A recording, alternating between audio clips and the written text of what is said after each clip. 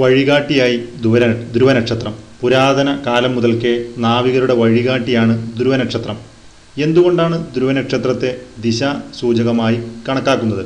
ഈ നക്ഷത്രം ഏത് നക്ഷത്ര ഗണത്തിലാണുള്ളത് അവസ മൈനർ എന്ന നക്ഷത്ര ഗണത്തിലാണ് ഈ ധ്രുവനക്ഷത്രമുള്ളത്. അവസ മൈനർ നമുക്കൊന്ന് സെർച്ച് ചെയ്ത് നോക്കാം.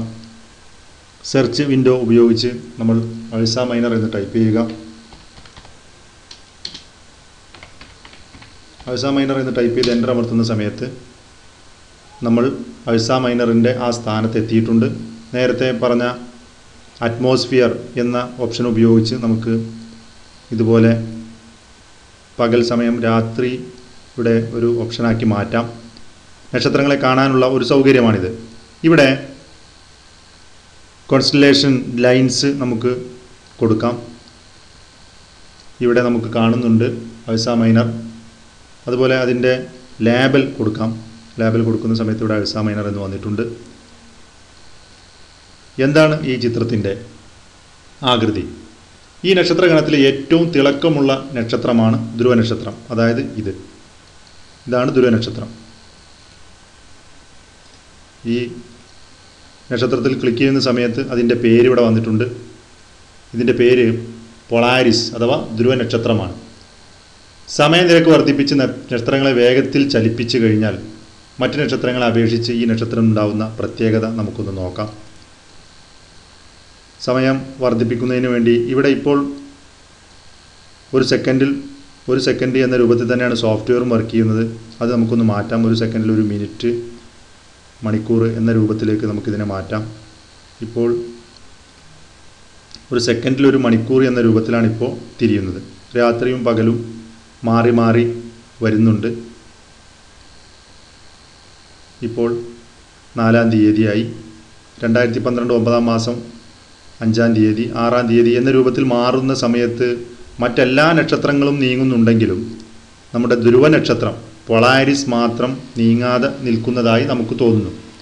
എല്ലാ ദിവസവും ഒരേ സ്ഥലത്ത് തന്നെ ധ്രുവ നക്ഷത്രം കാണപ്പെടുന്നതിന് എന്താണ് കാരണം? ഇതിന് ഉള്ള കാരണം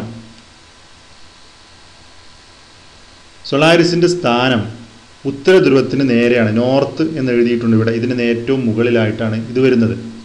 ഭൂമിയിൽ നിന്ന് നോക്കുന്നത് കൊണ്ട് നമുക്കിത് നീങ്ങുന്നില്ല എന്ന് തോന്നുന്നു. യഥാർത്ഥത്തിൽ ഇതും നീങ്ങുന്നുണ്ട്. നമ്മുടെ ഉത്തര ധ്രുവത്തിന് ഏറ്റവും നേരെ മുകളിലായതുകൊണ്ടാണ് ഇത് നമുക്ക് നീങ്ങാത്തതുപോലെ തോന്നുന്നത്. ഇനി ധ്രുവനക്ഷത്രത്തിന്റെ സ്ഥാനം ഉത്തര ധ്രുവത്തിലാണെന്ന് നമുക്ക് മനസ്സിലായി. ലൊക്കേഷൻ ടൂൾ ഉപയോഗിച്ച് നിരീക്ഷണ സ്ഥാനം ഉത്തര ധ്രുവമായി നമുക്ക് ക്രമീകരിക്കാം. ഇവിടെ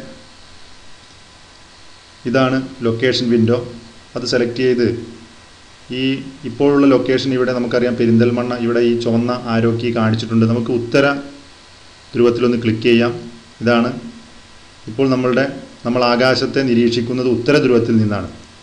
ഇവിടെ അറ്റ്മോസ്ഫിയർ ക്ലിക്ക് ചെയ്തുകൊണ്ടാണ് ഇപ്പോൾ രാത്രിയായി കാണുന്നത്. ഇവിടെ പകൽ തന്നെയാണ്. ഇനി നമുക്ക് സെപ്റ്റംബർ മാസത്തിൽ നിന്ന് പുറകോട്ടൊന്ന് പോകാം. ഇവിടെ പകലാണ് ഇപ്പോൾ ഉള്ളത്. നമുക്ക് സൂര്യനെ ഒന്ന് കാണാം. സെർച്ച് വിൻഡോ ഉപയോഗിച്ച് സൺ എന്ന് ടൈപ്പ് ചെയ്ത് എന്റർ അമർത്തുന്ന സമയത്ത് സൂര്യനെ നമുക്കിവിടെ ലൊക്കേറ്റ് ചെയ്യാൻ കഴിയും. ഇനി ബാക്കിലേക്ക് നമുക്ക് സമയം ഒന്ന് മാറ്റി നോക്കാം. ഇവിടെ നമുക്ക് എല്ലാ സമയത്തും സൂര്യനെ കാണാൻ കഴിയുന്നു.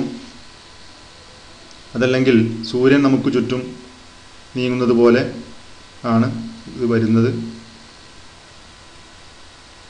എല്ലാ ദിവസവും ഇവിടെ പകൽ തന്നെയാണ്. വളരെ വേഗത്തിൽ ദിവസങ്ങൾ മാറുന്നു. എട്ടാം മാസമായി. ഏഴാം മാസമായി ആറാം മാസമായി.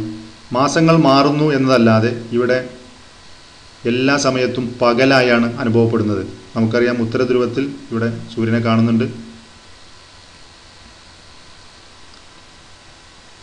ഉത്തര ധ്രുവത്തിൽ